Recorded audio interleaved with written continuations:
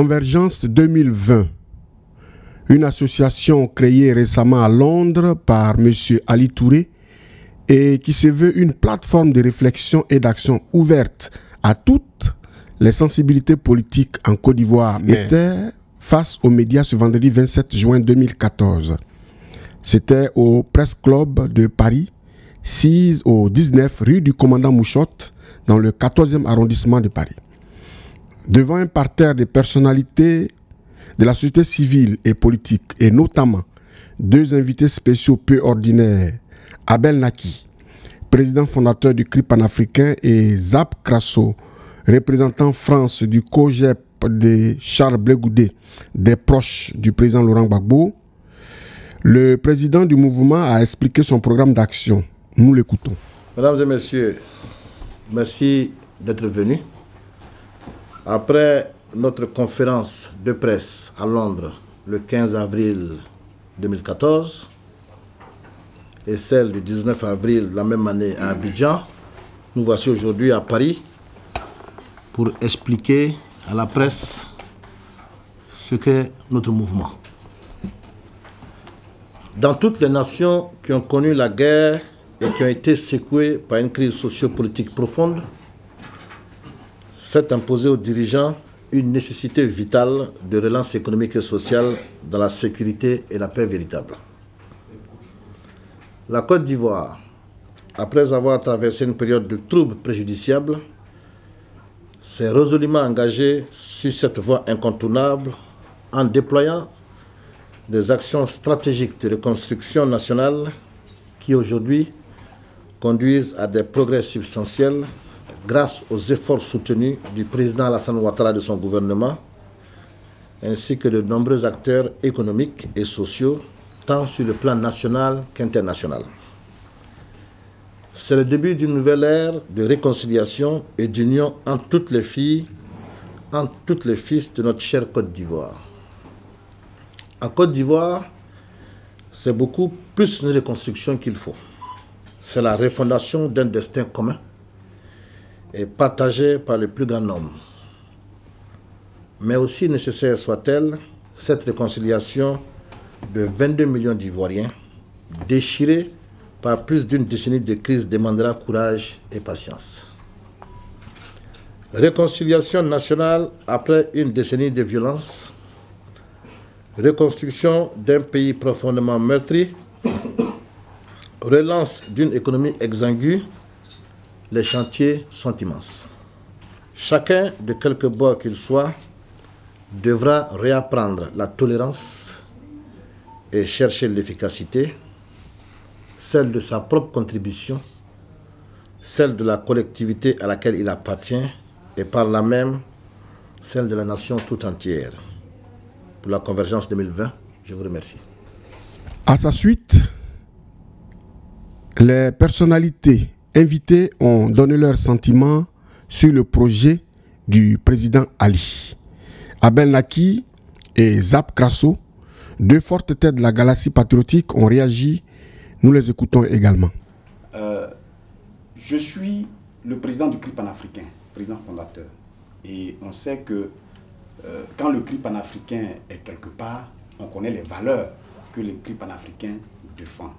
Je lui dis haut et fort, comme a l'habitude de dire mon frère Ali Touré, moi je suis un pro-Bagbo et un Bagboïste non négociable.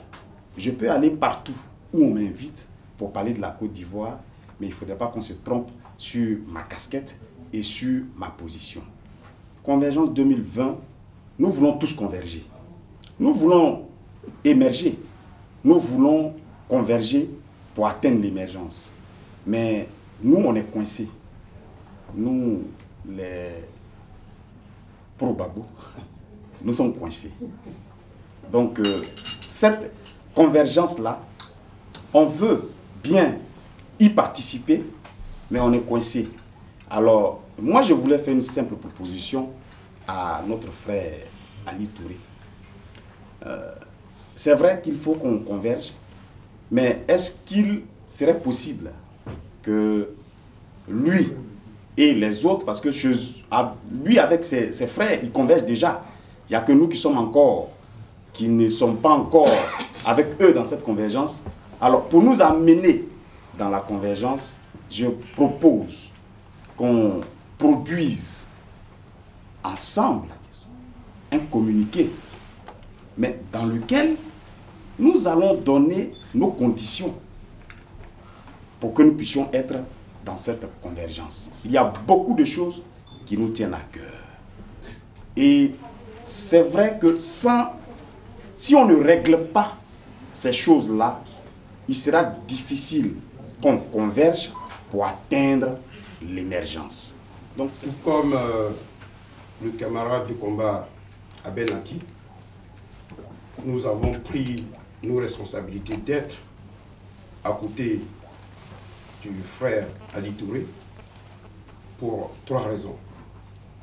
La première, par marque d'amitié et de fraternité. Donc je pense que ma présence peut être un symbole. Ali Touré, personnellement, je le connais depuis 1995. Personne ne peut m'en empêcher, en vérité, de dire Zap Crasso, pro Babo, représentant du chef Blégoudé, de ne pas venir là où il me semble d'être pour parler de la Côte d'Ivoire. Je ne viens pas pour signer un livre d'or à Ali Touré et à sa formation politique. Mais j'ai dit ma présence voudrait briser ce tabou-là. Je pense, dans cette crise que nous vivons, c'est la première fois qu'il y ait ce genre de rencontre. Mais comment ici est pris pour qu'on soit là? Il le sait, nous le savons. Et je souhaite que cela soit pris comme une leçon pour ceux qui sont au pouvoir aujourd'hui. Quelle est la bonne voie que devrait suivre l'association Convergence 2020 pour ne pas tomber dans la dépendance politique? Le professeur Franklin, écrivain franco-camerounais, a ébauché des pistes de réflexion. J'ai donc proposé de dire un mot sur la notion d'émergence. Parce que par naturel philosophique, je me méfie des slogans. Il faut malheureusement reconnaître que le mot émergence est davantage devenu auprès de nos populations euh, africaines et francophones en général, pas seulement en Côte d'Ivoire d'ailleurs, un slogan qu'une réalité pensée. il nous appartient, en tant que tâcherons de la pensée, de restituer ce mot à son caractère problématique et à sa signification extrêmement critique. Qu'est-ce que c'est donc émerger Quel que soit le pays dans lequel ce mot est utilisé, émerger, c'est tirer les leçons du passé pour avancer de manière beaucoup plus efficace, de manière beaucoup plus, positive vers l'avenir. Émerger, c'est apprendre de ses erreurs et de ses fautes. Il ne peut donc pas y avoir une émergence dans la sloganisation de la pensée. Il ne peut pas y avoir une émergence dans la pure euh, euh, publicité de façade. L'émergence suppose que l'ensemble des forces d'une nation, les forces matérielles, les forces mentales, les forces spirituelles, fassent le bilan d'elles-mêmes. Et dans chacun de nos pays africains, les raisons pour lesquelles les conflits persistent sont connues de la plupart de ceux qui peuvent penser, écrire et lire. Et donc, en venant ici, ce que je voulais dire, c'est que l'émergence de la Côte d'Ivoire n'est pas possible si Convergence 2020 n'est pas possible. Pour que l'émergence de la Côte d'Ivoire soit possible, il faut que les hommes, les femmes, les Ivoiriens, les amis de la Côte d'Ivoire, les enfants adoptifs de la Côte d'Ivoire, dont je suis, soient capables de s'entendre sur le minimum commun nécessaire. Or, qu'est-ce que c'est que le minimum commun nécessaire d'un pays? C'est que la jeunesse trouve des emplois, qu'elle soit éduquée. Le minimum nécessaire commun, c'est que la sécurité bénéficie à tous. Le minimum nécessaire commun, c'est que la justice soit possible. Le minimum nécessaire commun, c'est que les contentieux électoraux disparaissent le minimum nécessaire commun, c'est qu'on ne s'inquiète pas de savoir qui va être président de la Côte d'Ivoire en 2015 ou en 2020, mais ce qui ne pourra jamais plus nous arriver en Côte d'Ivoire en 2015 ou en 2020 ou en 2025, quel que soit celui qui est président. Donc, mon cher frère, mon cher doyen Ali Touré, l'idée de convergence 2020, c'est l'idée de Côte d'Ivoire. Car la Côte d'Ivoire est de toutes les nations francophones africaines celle qui a porté en son sang, en son cœur, en ses larmes et en ses douleurs, le véritable projet panafricain africain. Ce programme, à l'évidence, n'a pas fait l'unanimité auprès des journalistes qui ont voulu savoir si l'association Convergence 2020 n'avançait pas masquée en étant en réalité un club de soutien à la réélection du président Ouattara. Et surtout, pourquoi avoir calqué l'appellation du mouvement sur Émergence 2020, le slogan politique du régime d'Abidjan? Pour se justifier, M. Ali Touré a expliqué avoir prévu des garde-fous pour ne pas franchir ce pas, lesquels? Nous écoutons encore le conférencier. Monsieur Djedje, le monsieur qui est à votre droite là, oui là, je vais te donner toutes ses caractéristiques, ça va faire rire peut-être. Il est bêté. Oui, il me l'avait signalé. Pro Bagbo. C'est mon conseiller spécial en communication. La dame qui est au fond là-bas là, c'est une femme bêtée de Ouragayo, pro Bagbo. Elle est l'adjointe de ce monsieur-là. Donc même si je vais tirer, et puis j'espère que d'ici quelques temps, Abel Naki va faire partie de... Parce que je compte même, je propose même qu'Abel Naki soit le représentant de la convergence même en France. J'espère qu'il va accepter.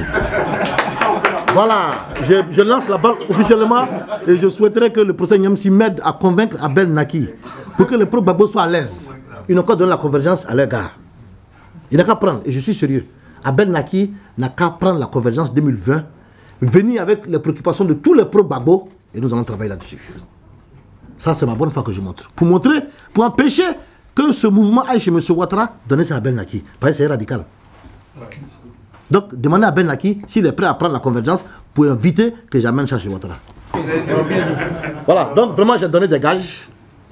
Et je demande à mes amis qui sont à moi dans la convergence, qui ne sont pas du même bord politique que moi, si vous me voyez par erreur ou par mégarde tirer ce mouvement vers un parti politique, arrêtez-moi. Pour finir, M. Ali Touré, le président de Convergence 2020, a invité dans un appel solennel tous les pro-Gbagbo à le rejoindre pour la mise en place d'une plateforme commune afin de consolider la cohésion sociale.